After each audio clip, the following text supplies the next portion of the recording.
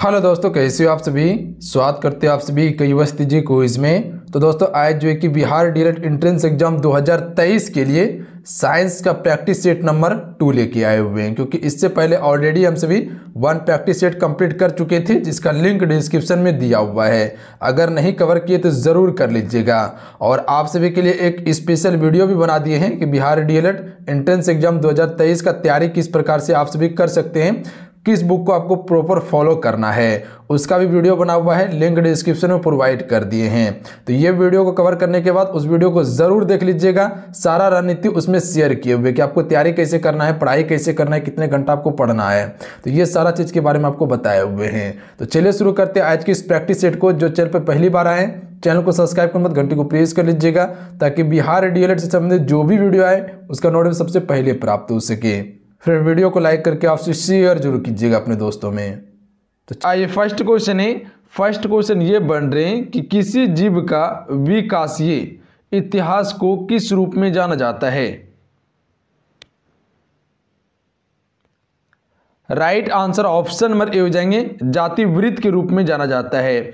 अगर इन सेट में किसी भी क्वेश्चन का आंसर पता हो तो अपना आंसर आप सभी नीचे कमेंट बॉक्स में बता सकते हैं। देखिए, लिखने से क्या होता है? क्वेश्चन आपको प्रॉपर याद होता है। तो हर क्वेश्चन का आंसर आप सभी लिखा ज़रूर कीजिए। तो क्या हो जाएँगे? राइट आंसर जाति वृत्त होता है। ध्यान रखेंगे आप सभी। क्वेश्चन क्लियर है? हर क्वेश्चन को क्लियर करते चलेंगे आप सभी। अगला क्वेश्चन है लिटमस को डैश से निकाला जा सकता है फ्रेंड राइट आंसर ऑप्शन मसी हो जाएँगे, सेवाल से निकाला जा सकता है। ऑप्शन मसी राइट आंसर है ध्यान रखिएगा। लिटमस को हम सभी किससे निकाल सकते हैं? तो सेवाल से निकाल सकते हैं। क्वेश्चन क्लियर है? अगला क्वेश्चन देखिए। अगला क्वेश्चन ये बन रहे कि उस उत्तक का नाम बताइए जो जानवरों में नहीं पाया जाता है फ्रेंड चलिए क्वेश्चन नंबर थ्री के लिए आप सभी राइट आंसर बताइएगा। उस उत्तक का नाम बताइए जो जानवरों में नहीं पाया जाता है। राइट आंसर ऑप्शन में भी जाएँगे। मेरे इस्टोमेटिक उत्तक जो है फ्रेंड ये जानवरों में नहीं पाया जाता है। क्या चीज़ जानवरों में नहीं पाया जाता है? तो मेरे इस्टोमेटिक उत्तक ये जानवरों में नहीं पाया जाता है। जबकि वसा उत्तक डेंट्राइट और संयोजिक उत्तक। ये सभी फ्रेंड जो कि जानवरों में पाया जाता है। अगला क्वेश्चन है। अगला क्वेश्चन ये बन रहे कि एनीमिया डैश की कमी के कारण होता है। राइट आंसर ऑप्शन में भी जाएँगे। लोहा की कमी के कारण एनीमिया रोग होता है। फ्रेंड याद रखेंगे आप सभी। किसकी कमी के कारण एनीमिया रोग होता है? तो लोहा की कमी के कारण एनीमिया रोग होता है। क्वेश्चन के लिए ऑप्शन में बी राइट आंसर याद रखेंगे लोहा। अगला क्वेश्चन कर लेते हैं।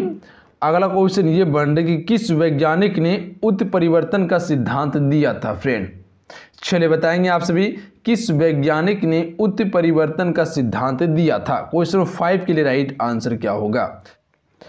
राइट आंसर ऑप्शन में सी जाएँगे। ह्यूंगो डे व्रिस ने उत्परिवर्तन सिद्धांत दिया था friend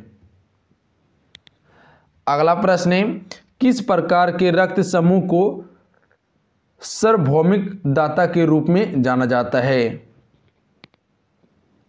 right answer option number दीजिएँगे ओ नेगेटिव को। फिर ओ नेगेटिव को जो है फ्रेंड वो सार्वभौमिक दाता के रूप में जाना जाता है। सर्वग्राही किसे कहा जाता है? ए बी को। ए बी को हम सभी सर्वग्राही कहते हैं, जबकि सर्वदाता किसे कहते हैं? नेगेटिव ओ को। अगला क्वेश्चन कर लेते हैं, कौन सा उर्वरक अत्यधिक हाइग्रोस्कोपिक है। राइट आंसर ऑप्शन नंबर दीजिएँगे यूरिया उर्वरक जो फ्रेंड ये अत्यधिक हाइग्रोस्कोपिक है। Option number D right answer है ध्यान रखेंगे आप सभी। अगला क्वेश्चन कर लेते हैं। कोशिकाओं में तत्काल ऊर्जा उत्पादन के लिए व्यक्तियों को डैश लेना चाहिए। राइट आंसर ऑप्शन में हो जाएँगे ग्लूकोज लेना चाहिए। तो कोशिकाओं में तत्काल ऊर्जा प्राप्त करने के लिए व्यक्तियों को क्या लेना चाहिए? तो ग्लूकोज का सेवन करना चाहिए। Option number A, right answer रहेंगे अगला प्रश्न है, डी वोनी कल्प को डैश के रूप में जाना जाता है।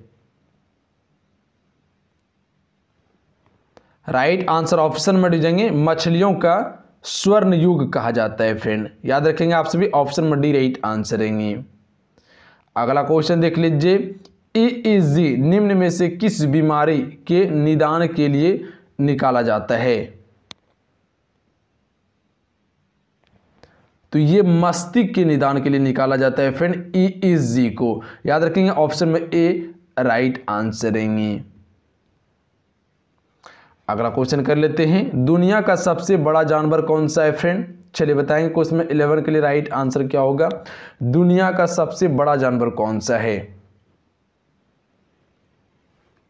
राइट आंसर ऑप्शन में हो जाएँगे blue whale friend blue whale जो है, ये दुनिया का सबसे बड़ा जानवर है. ऑप्शन में ए राइट आंसर रहेंगे. क्वेश्चन क्लियर है? आइए अगला क्वेश्चन देखिए. निम्नलिखित में से कौन सा प्रतिरक्षा के प्रकार हैं? राइट आंसर ऑप्शन में डी हो जाएँगे दोनों ए और बी सहज प्रतिरक्षा और अनुकूलक प्रतिरक्षा। अगला क्वेश्चन कर लेते हैं, निम्नलिखित में से कौन सा जानवर एक लिंगी है?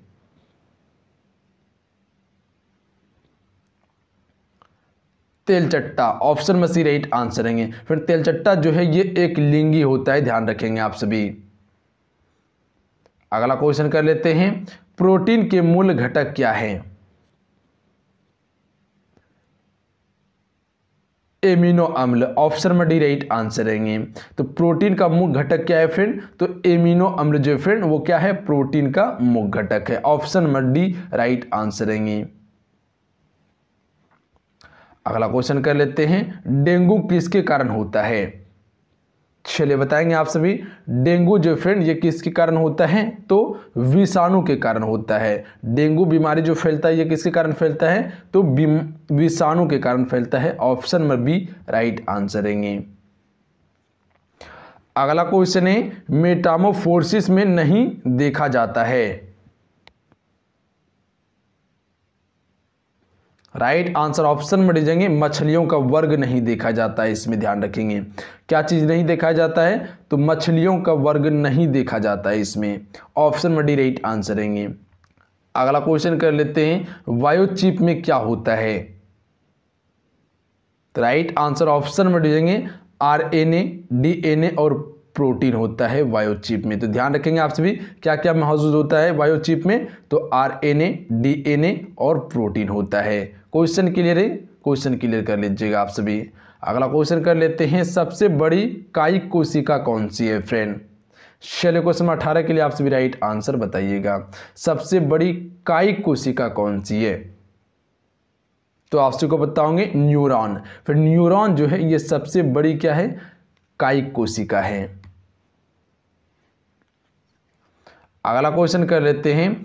इसके अधिक मात्रा में होने के कारण चॉकलेट सेहत के लिए हानिकारक हो सकते हैं।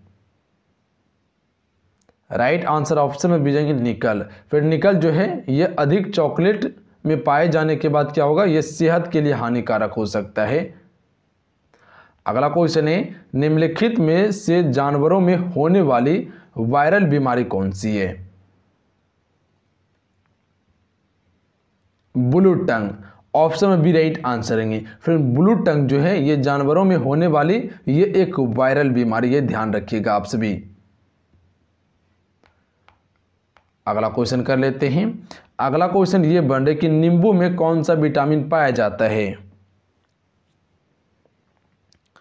तो राइट आंसर ऑप्शन में सीजेंगे विटामिन सी नींबू में पाया जाता है, जिसे स्कॉर्बिक एसिड भी कहते हैं, ये नींबू में पाया जाता है। तो कहे तो खट्टा पदार्थ में पाया जाता है। अगला क्वेश्चन कर लेते हैं। दिए गए विकल्पों में से कौन सी बीमारी सुअर में फैलती है friend swine flu. Friend swine flu जो है, ये सुअर में सबसे अधिक मात्रा में ये बीमारी देखने को मिलता है। यानी ऑप्शन में बी, राइट आंसर रहेंगे। क्वेश्चन क्लियर है? तो सुअर में कौन सी बीमारी फैलती है? तो स्वाइन फ्लू बीमारी। अगला क्वेश्चन कर लेते हैं। अनुमस्तिक जिसे सेरी ब्लेम भी कहा जाता है यह अनुमस्तिक के लिए निम्नलिखित में से कौन सा सही नहीं है?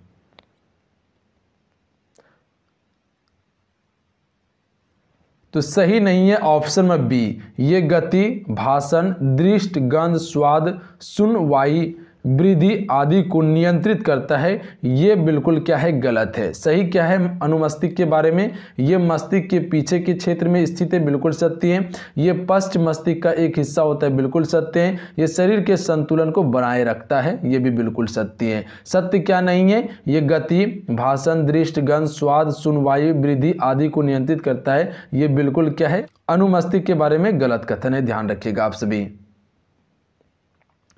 अगला क्वेश्चन कर लेते हैं, निम्नलिखित में से कौन अलग समूह से संबंधित है? रेबीज। फ्रेंड, रेबीज जो है, ये अलग समूह से संबंधित है, जबकि स्कॉर्बिक सूखा रोग, रतौंदी, ये सभी एक वर्ग में आते हैं, जबकि रेबीज अलग समूह में आते हैं। अगला क्वेश्चन कर लेते हैं, ऐसी कोशिकाएँ जिनमें केंद्रक पदार्थ, केंद्र झिल्ली के बिना होता है, डैश कोशिका कहलाती है। तो इसे प्रोकैरियोटिक कोशिका कहा जाता है। क्वेश्चन को समझिए क्वेश्चन क्या कहना चाह रहा है? ऐसी कोशिकाएँ जिनमें केंद्रक पदार्थ, केंद्रक झिल्ली के बिना होता है, उसे हम सभी क्या कहते हैं? प्रोकैरियोटिक कोशिका कहते हैं। यानी ऑप्शन में ए राइट आंसर रहेंगे।